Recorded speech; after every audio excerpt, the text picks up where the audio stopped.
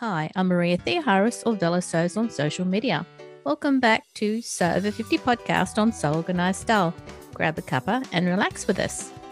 On Sew Organized Style podcast, I begin today by acknowledging the traditional custodians of the land on which we record this podcast and pay respects to the elders past and present.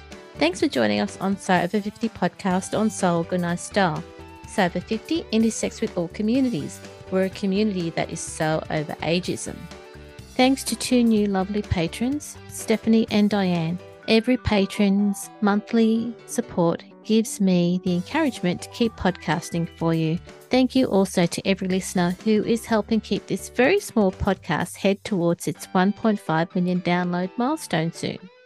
Today's Sew Over 50 podcast guests are the two co founders of Sewn Adaptive. Lynn Brannelly is a costume designer and her Instagram account is at LWS underscore Lynn Wardrobe Sews and Alexander Andronescu, fashion designer at Alex of Arabia. In this recording, you'll hear what motivates them to use their industry experience to help adapt clothes for all parts of the community. They're sharing their knowledge with us through their videos on Instagram at the Sewn Adaptive account. In this podcast, Lynn and Alex talk about their experience through the Runway of Dreams project earlier this year. Hi, I'm Alex of Alex of Arabia. I've had a factory in Los Angeles for quite a few years now. You're a little more than that. Okay, so you, should I restart? Is this kind of like a takes thing? Should I restart? I used to work in Italy. I was doing tailoring for a while, and I went to school in New York. And now I run Sewn Adaptive with Lynn, which is growing very quickly and is super exciting. And I am Lynn of LWS, Lynn Wardrobe Sews. I'm a costume designer for film and television and have been here in Los Angeles for the past 20 plus years. Yeah, I'm the co founder of Sewn Adaptive with Alex. Thank you for introducing yourselves. It's very clear that you're both very talented in your areas of expertise, and this discussion about adapting clothing will be a learning experience for many sewists. Yeah. Oh yeah, totally. I mean, uh, Lynn has a extensive background in sewing and costume and costume design for film and television, and I've done a lot of work in tailoring and mass production, factory work. So combining the two has been really, really good for trying to change clothes, I guess, or alter things in, in particular ways. We look at things differently because we kind of get a, a great perspective change, you know, on, on everything that we do, you know, creative or practical. It's really beneficial for sure. You've developed Sewn Adaptive this year. So, what brought you both together? Well, we had started to work together, and Alex actually had gotten an opportunity for us to work as a sewing team, tailoring team for a runway show with an organization called Runway of Dreams hmm. that is specifically about bringing about awareness of the need for adaptive clothing for the fashion industry. And we worked their runway show here in Los Angeles earlier this year. And that's where the whole concept came from we were unaware of the need. Mm-hmm. There are brands that are starting to do adaptive clothing, which is amazing. But the reality is that for every person with disabilities, the need for there to be an alteration or a change is almost inevitable. After having that experience and our perspectives changing, being in the fashion industry, we decided that we wanted to do an educational platform that could show not only the tailors and the sewers what these kind of alterations look like, but also to the home sewers and potential new sewers also how to do these alterations so that they could do them for themselves or for their loved one. Through your videos, Sewn Adaptive will definitely spread the alteration knowledge you both have through your extensive industry experiences. I had a look at the Runway of Dreams videos via YouTube to see the variety of adaptations that were made for each of the models, and the joy on their face was very infectious. I think what you can do is you actually you watch this runway show and it's yep. parent in some cases and some not necessarily. There are people that have disabilities. The fashion and the clothing look like fashion and clothing. The adaptation isn't necessarily in your face and something that you can see. Yep. We know because we did it, but it's allowing a huge demographic of people who haven't necessarily been included the opportunity to have real independence, not only in how they dress, but in getting to choose what they wear with confidence. You've already shown people some of the adaptations through your Instagram account. You've done videos and shown people some of the adaptations that can be made. Can you talk us through just a couple of those? Well, you know, one of the most popular adaptations that we did, or ad- adaptations, I should say, was replacing the button down shirt buttons with uh, Velcro patches.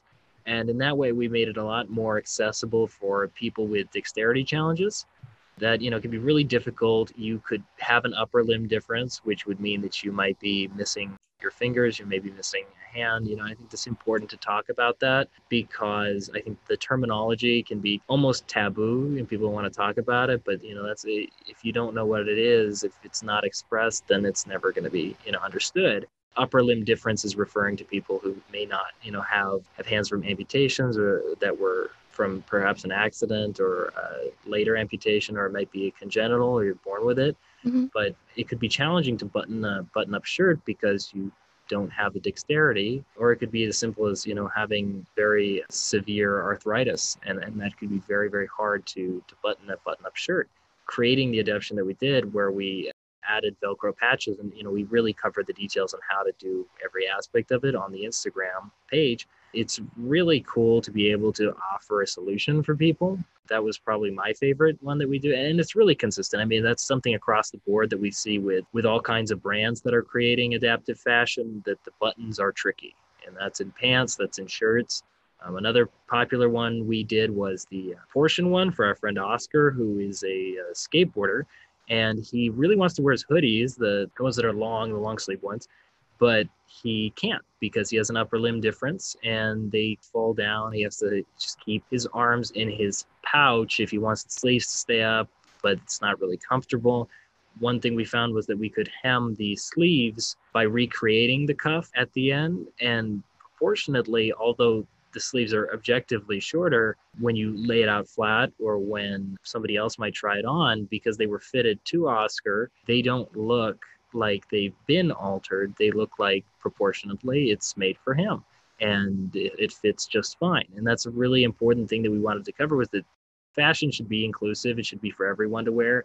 He should be able to wear his favorite sweatshirts, his favorite brands, especially when it comes to skater brands, and without limits. Yep. He shouldn't have to necessarily just look for one type of brand. He should be able to alter. And, and really, we try to make the alterations as simple as possible. So really anybody could do it. I, I, think that we've covered about six or seven topics so far. Mm-hmm. I think even a beginner sewer could get a lot of that done. Yeah, the, especially the last one and the Velcro one. That's the other thing we try to really do is keep in mind the manufacturing background and then like a home sewing background and, and try to always speak to both so that everybody can benefit. It's like alterations that everybody can do. I mean, one of the other uh, adaptations is magnetic buttons, but to find those at a retail level, that takes a lot more effort. They're a little bit harder to get your hands on, and they, they can be kind of tricky because they can be problematic with medical devices or they can get stuck to everyday objects, which can be inconvenient or um, uncomfortable for somebody who's wearing the shirt. I've seen magnets put in and I've seen the Velcro options and that's something that's i think important to stress too is the quality of the material that you use when you do the adaptations. The velcro brand products are really the best ones over time that seem to hold up. Their traditional classic hook and loop is, really good very universal. And what, what was the name of the softer ones? The sleek and soft. That's the one thing we've come to realize too especially with like notions and closures is the quality of brands out there that have closures that you know are in that adaptive category and by far velcro brand hook and loop is superior mostly because they have such a large variety mm. of options that you would use differently you know it's like what you would use on a lightweight voile blouse would be very different than the type of hook and loop product that you would use yep. say on a denim and velcro has way more options than a lot of people realize we want to get into doing that in the videos talking about these are all available products. The majority of what we would use for sewing are products that would be available online to everyone, certainly, and, and definitely in a lot of craft stores, even internationally, I think. They are more available. Can you tell us about some of the clothing adaptations you've made for Misty? Misty's uh, adaptations have been mostly proportion adaptations, also for stature and for fit. Misty has spina bifida, and so she has a very unique body. We all have very unique bodies that need adjustments all the time. And Misty is not afraid of showing exactly the challenges that she faces with spina bifida, which is so cool, which, you know, is a discussion for another time of how important it is to really express what the challenges are so that people out there like us really can, you know, try to make things that make your life easier. But she needed alterations like uh, hemming mostly, but trying to keep the design details of certain garments. She had a really pretty free people pajama set and it had a bias hem detail and a high-low shirt on the top, but the the high uh, the bias detail was on the pants. And so what we had to do was compensate for that, uh, measure both her right and left leg, because I think people tend to get a little lazy and just measure one leg. That doesn't mm-hmm. always work for anybody. We just had to take it up and make it look the same. And you know, we were talking a little bit earlier about proportion with our friend Oscar, but you know, when you see it in person or photographed, when it's done correctly, an alteration or tastefully, instead of just lopping off the excess fabric. It looks correct. It looks just like the e commerce photos on the Free People website when Misty did her photo shoot for them, even though we had to shorten it, which is the idea behind good alterations is that it doesn't look like it had been altered. It looks like it has was right. made for you. And so that's really the majority of the alterations that we've done for Misty and, you know, making sure that she's comfortable with the crutches that she has and, and how that works when she's walking. And she is, and she's very transparent about any challenges that she might be facing or needs that she has when we do the alterations. It's really cool to have somebody like that when we're working, and we really try to have that conversation with everybody who comes in for Sewn Adaptive. So we want to encourage everybody who has unique challenges to reach out to us and let us know. Yeah, I think the fact that you've also made those changes and to what she had, and then showed the images in the way that they are shown by the brand Free People it was also a good way of making sure people understand that the changes were made to suit her and she still looks fabulous and it looks the way you would have expected that garment to look. Exactly, exactly for us, one of the exciting design challenges with which every opportunity we do these alterations is to not compromise the silhouette and to have it be every bit as fashionable as the brand intended while having the adaptation to help with any challenges. And you know, those are kind of the three points that we shoot for. You know, and the good news is is it's totally possible. And so for the community that is disabled out there, there's no reason why anything ready to wear that you like, brands that you like, you can wear. The alteration is is possible. The adaptation is doable. And it's good that Sewn Adaptive is helping sewers to understand the ways that we can help adapt clothes for wearers and that they're easy enough to do. Right, they, they are. What adaptation ideas do you use for people with limbs that have varied widths?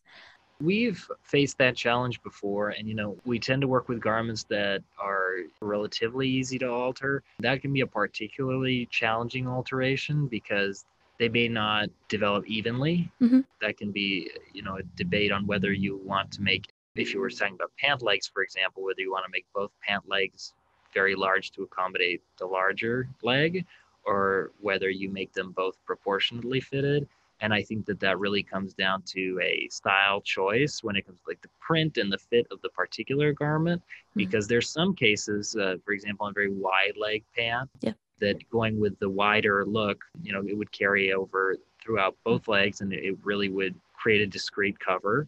While if you were going with something like leggings or tighter fits, you know, you, you would want to taper both legs individually. Yep you know keeping the style over the fit there's some decisions to be made there there's some calls which is why we want to really open up that discussion as far as clothing goes because we see a lot of brands uh, coming out with some great products that are adaptive mm-hmm. you know the list of disabilities is really extensive and from disability to disability, even within the same type, there's so much individuality and so much uh, unique challenges that come with that that it's almost impossible to not have alterations be a major part of that. Thanks for answering that question. What are some of the examples of clothing adaptations you've made for people who need to use wheelchairs? Obviously, if you're sitting down, your shirts tend to wrinkle up and then they scrunch up because the shirt is designed to be worn while standing. Mhm.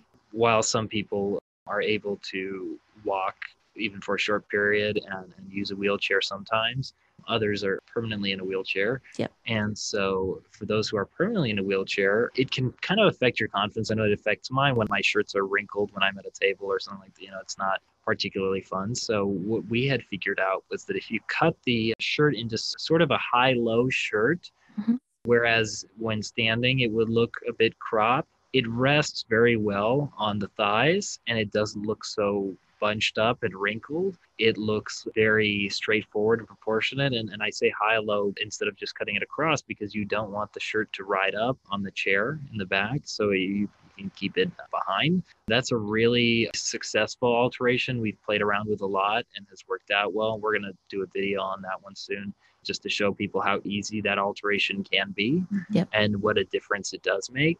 I, I know that another one is the fit of pants tends to be a bit more slim for people who are especially permanent wheelchair users. And so you have the opportunity then to taper pants a bit more than you might usually. It also depends on personal taste. And it's also a great point when fitting somebody who is, for example, primarily a wheelchair user, but is not all the time in a wheelchair. You do want to fit them in their pants sitting down, not standing up, because once they sit down, pants are going to ride up that's just an important note because uh, you know I think we tend to think about fittings and it's all standing without the consideration of how things are going to look when sitting. The other thing is is being mindful of silhouette choices because there are wheels. So like skirts and things, there's ways to do skirts and have them be narrower so that there's no overlap to anything that could get caught in wheels, making it Less complicated. Yeah, being sensitive to the mm-hmm. fact that as they move and then they have the wheels that, you know, nothing gets caught in the wheels, but that they still can have, you know, a desirable silhouette seated. Do you also make adjustments at the front of pants? Yes, actually, we've done adjustments where we've had to make the rise of the back of the pant higher because when you sit down, you know, it tends to lower. As far as the front goes, yes, in certain cases, we've made adjustments to accommodate medical devices. That doesn't affect everybody, but uh, some people do require that. And you know, also when buying clothes or buying clothes to alter, it's important to try that sitting because you know if you buy it a little bit too tight, it sitting down might be even tighter.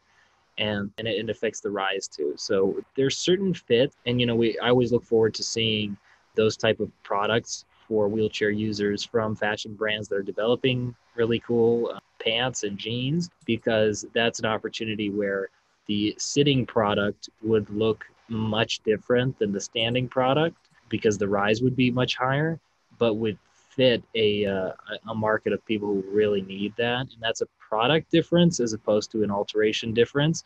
We like to say that a lot of what we're we're battling is a culture change in terms of adaptive alterations, but that's one of the few things that would be really cool to see big brands develop.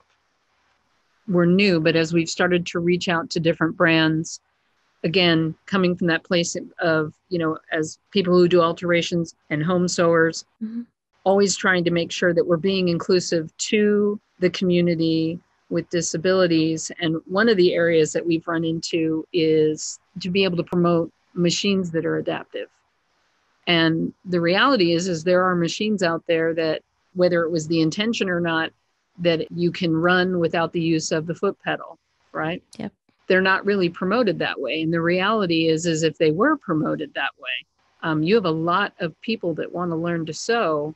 That's the one thing that keeps them from being able to. Is that you know, it's like if they don't have the ability to use their feet or their ankles, it's like you know they need to bring everything up to the top. And so for us, you know, we would love to hear from brands that would be willing to support and sponsor because we have interest coming to us for people who are disabled that want to learn to sew and we want to give them that opportunity. but we need to be able to get them a machine that allows them to do that. Yeah. That's a great point about uh, about adaptive sewing machines. It's a big topic that we're trying to cover. One of the core things that we like to cover at Sewn Adaptive is that everybody needs alterations, and that's something that really benefits whether you, you live with a disability or you don't. Alterations are such a necessary part of having clothing, of dressing nicely, and I think we've forgotten about that because of so you know how available quick fast fashion is, and it fits generally all right which you know for for a little bit has been an okay image but when clothes are altered and i alter almost all of my clothes just because you know even if it's just a little bit it mm-hmm. makes a huge difference. And i know that all the sewers out there who who are listening have done that and are on the same page about it. But, but really anybody who's doing alterations can benefit. So sewing is, is definitely becoming more popular again which is so cool. I see a lot of younger people really getting into it which opens up avenues for adaptive alterations. You know, we were talking to somebody about how, uh, you know, oh, well, if I buy my clothes, then, you know, I risk having to bring it into alterations where they, they're not totally sure w- what they're doing. And, you know, we're, we're really working on a type of a certification for that so we can, we can educate tailors and, and sewers on how to do those alterations properly that's a regular fear for anybody who's buying something is to bring it in for alterations and having to pay more and, and possibly not liking the outcome it's a universal problem. It's not something that's facing the alterations aspect. It's not something that's facing just people with disabilities. It's it's a totally necessary uh, aspect of sewing, and that's why we made this an educational platform instead of trying to sell any sort of a product necessarily. It's it's trying to show that there's so much out there that we can help show you how to do, and above all, give people whether you are sewing with a disability, whether you're sewing for somebody that you care about with a disability or or you're just sewing to make headway in adaptive fashion, independence is the biggest deal. And and having the independence to do it yourself by watching the videos or, or send it out, but the opportunity is there with all the materials lists and everything that we give you to create it yourself, to find your own solutions, to adapt in the ways that if you're living with disabilities, you've already learned how to adapt in so many ways and one of the things that we really want to convey is we want to hear from people out there in the community who need a, an adaptive solution. We can't know what the challenge is without somebody saying, like, man, I really want to wear jeans, but this is my dilemma. There's nothing we would like more than to be given that challenge. I've made a lot of clothes over the years in, in my factory, but the challenge has been really awesome. Mm-hmm. I mean, over the past couple months, doing Sewn Adaptive, you know, having the challenges, the new opportunity to try new things, to create new things. I mean, we're, we're going beyond just adaptive products or adaptive clothes. Next week is our, our trip down to try to figure out an adaptive solution for uh, sewing machines, right. plug. Um, we are trying to figure out how we can create something that's easily changed out to be adaptive one of our favorite brands for that is Brother. You know, they're very available. And so we'd love to work with them on creating an adaptive sewing machine because we think that the possibilities are endless. And they have one of the most, I'll call it adaptive sewing machines that you can get affordably and, and across the market. So, and affordability is such a, an important thing is. for everyone, but especially yeah. a new sewer, whether whether they have a disability or not. We all had one day of sewing one day right. you know, mm and it's daunting. And the last thing you want to do with a, a new sewer is to have them get discouraged, yeah. right? And, and price can be discouraging, right? And, and, you know, it's it's gets scary when you're starting a new hobby anytime and you're not good at it, and that's okay. You never are when you start, but it can be really tricky to you know say, oh my gosh, I spent like a couple hundred bucks on this I, idea of mine to start sewing, and it's yeah. not fantastic. But you know, the patience is there, the the support is there. Now that we have so much like online, I think I think the sewing videos were always out there, uh, especially when I was learning how to sew. Even though I was a little stubborn to watch the videos, with videos like TikTok now or uh, TikTok and Instagram, that you have you know a minute and a half explanations on how to do something almost making it more alluring to watch because they do it so quickly. Right. It's really helpful, and it, it's there's so many more resources out there for home sewers or, or beginner sewers to just try something new and, and make adaptive alterations. So we, we even get comments and notes about you know the stuff that we posted that would you know hey if you do it like this it's a little bit easier which is awesome. And we love to hear that because, you know, sometimes we forget something or we didn't think of a, a, solution and we just want to share that You know, I want to share that with everybody so everybody has the opportunity to feel confident in their clothes and wear what they want to wear. Lynn and Alex, you've both got your industry experience in the fields that you've been in and the years that you've worked in your industries, and you're bringing that to us as sellers in Sewn Adaptive. And we can hear that you've got the commitment because you're using Sewn Adaptive as this learning platform and you're going down the path of certification um, so that people realize that what you're offering is worthwhile learning, even if it's just I think what you're offering people from uh, who come to Sewn Adaptive is the strength of your industry experience so that people can then understand how easy some of these adaptations can be, learn them, and either do them for themselves or do them for others and people that they care for. Totally. Right. You know, we're, we're all professionals and we like to create we like to create clothes that help people and the more vocal people with disabilities are about about the challenges they face, the better we can create alterations that help them. Mm-hmm. How can people learn more about Sewn Adaptive and basically get on board with what you're doing? Well, they can go ahead and follow us uh, at Sewn Adaptive on Instagram. Uh, we're working on a website right now, putting that up, but uh, that is the best place to learn about us. And if they have any questions, they can email us, sewnadaptive at gmail.com. And we're really, really open to any advice, anything. I mean, direct messaging too. Please yeah. feel free to reach out. Yeah. We are really want to learn as much as we can and help as many people as we can. We have new ideas every day for all kinds of things, all kinds of projects. I get excited about every new project that we work on. I can't wait to start on a weekend project myself. Lynn and Alex, thank you so much for coming onto the podcast for Sew Over 50. Thank you. Thank you so much for having us. Appreciate it. Thank you so much. And have a lovely day, listeners. This episode for Sew Over 50 podcast on Sew Organized Style was produced by me, Maria Theoharis, with permission of Lynn and Alex of Sewn Adaptive, sound by bensound.com. Listeners, if you want to provide a guest post for Sew Over 50, make sure you direct message Judith and Sandy at the Sew Over 50 account on Instagram. Also, keep an eye out for the next Sew 50 Live event that Bird and Molly are hosting. Remember, these Sew Over 50 Live events will always be available on the Sew Over 50 account. You can subscribe to Organized Style Podcast, but with an S, not a Z, on all good podcast apps. Make sure you go back and listen to our free Sew Over 50 podcast archive and if you can, consider supporting the production of this podcast on Patreon so I can keep producing it for you. We look forward to joining you in your sewing room next time. Stay safe, everyone.